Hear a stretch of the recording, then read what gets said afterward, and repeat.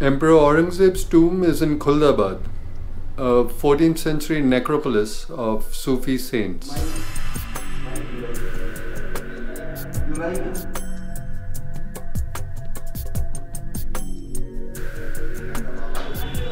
This is the Dargah of Sheikh Zainuddin Shirazi.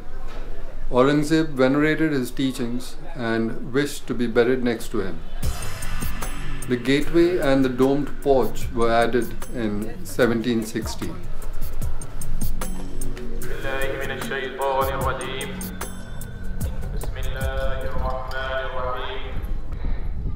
Within those arches is the entrance to Aurangzeb's tomb.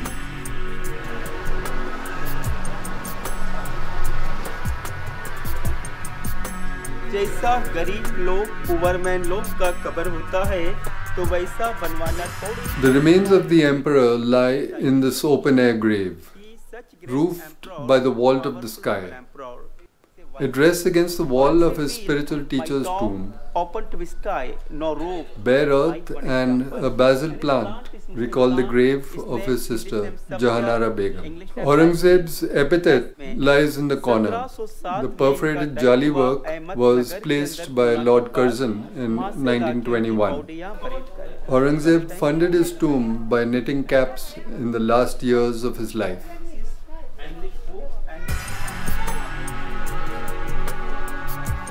Zainuddin died in 1370 CE.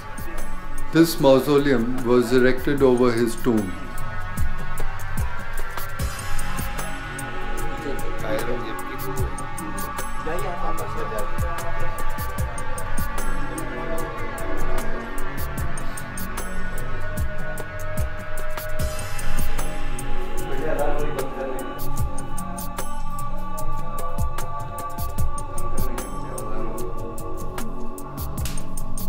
He was given the robes of the caliphate in 1336 CE. The robes and the Taj are preserved in this box.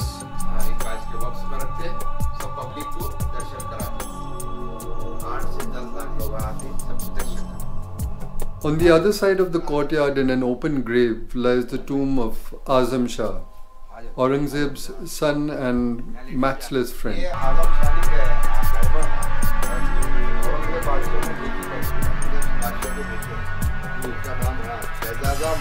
It has a small marble headstone ornamented with carved floral designs.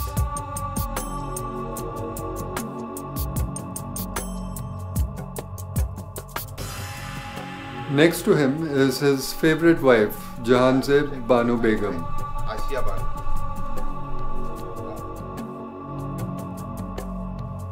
And this grave belongs to the daughter of a Sufi saint. So this was Aurangzeb's tomb set in a medieval funerary complex. It reflects the severe austerity of a controversial man, the most powerful emperor of his time and the last great Mughal. Hold the path for the main heaven paradise. Written on the wall, Aurangzeb's real name, Abul Muzaffar Muhammad Title is name Aurangzeb Alamgir. Aurangzeb is wife.